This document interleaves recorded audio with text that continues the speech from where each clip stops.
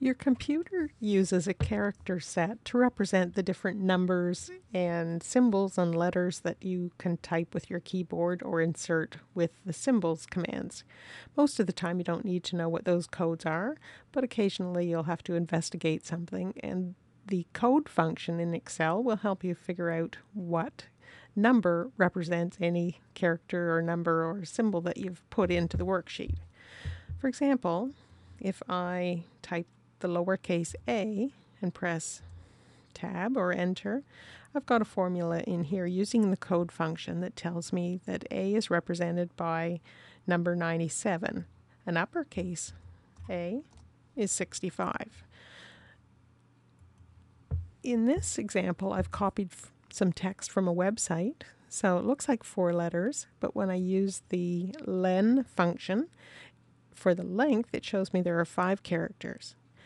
So with the code function, I can test one letter in this string. I want to look at the last letter. So I've got a formula in here using the code function. I look at the rightmost character, so one character at the right in B3. When I press enter, we can see that it's character 160, which is a non-breaking space. So we could create a macro or use a formula that would get rid of any character 160 in our Excel file.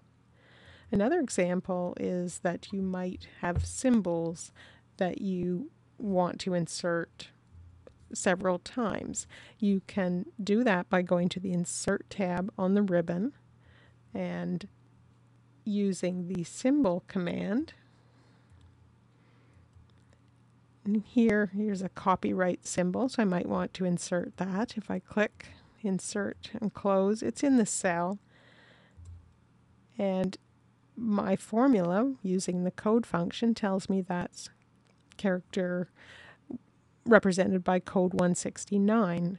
So instead of going to the ribbon all the time, I can just use the keyboard. You can use the numeric keypad, not the regular numbers at the top of the keyboard and press the Alt key and then type 0, 1, 6, 9.